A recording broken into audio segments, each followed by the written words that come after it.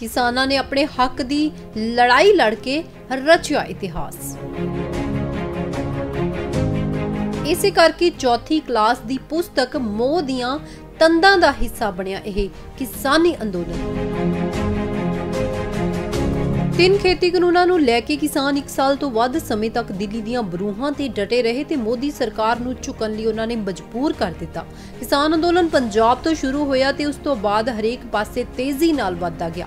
ਇਸ ਵਿਚਾਲੇ ਕਿਸਾਨ ਅੰਦੋਲਨ ਨਾਲ ਜੁੜਿਆ ਬਹੁਤ ਹੀ ਅਨੋਖੀਆਂ ਕਹਾਣੀਆਂ ਵੀ ਵੇਖਣ ਨੂੰ ਮਿਲੀਆਂ। ਲੋਕਾਂ ਦਾ ਬਹੁਤ ਜਜ਼ਬਾਤੀ ਜਿਹੜਾ ਜੁੜਾਵ ਸੀ, ਉਹ ਦੇਖਿਆ ਗਿਆ।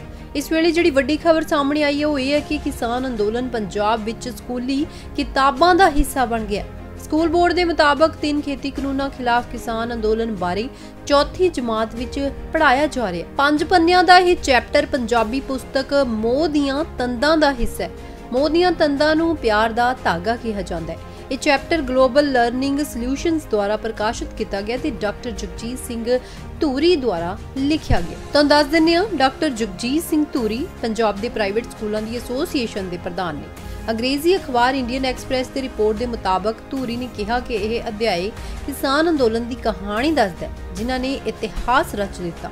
ਵਿਦਿਆਰਥੀਆਂ ਨੂੰ ਪਤਾ ਹੋਣਾ ਚਾਹੀਦਾ ਹੈ ਕਿ ਕਿਵੇਂ ਏਕਤਾ ਨਾਲ ਸੱਚ ਤੇ ਹੱਕ ਲਈ ਆਵਾਜ਼ ਬੁਲੰਦ ਕਰਨੀ ਹੈ ਤੇ ਇਹ ਪੰਜਾਬੀ ਭਾਈਚਾਰੇ ਦੀਆਂ ਭਾਵਨਾਵਾਂ ਨਾਲ ਕਿੰਨੀ ਡੂੰਘਾਈ ਤੱਕ ਜੁੜਿਆ ਹੋਇਆ ਹੈ। ਚੜ੍ਹਦੀ ਕਲਾ ਟਾਈਮ ਟੀਵੀ ਬਿਊਰੋ ਰਿਪੋਰਟ।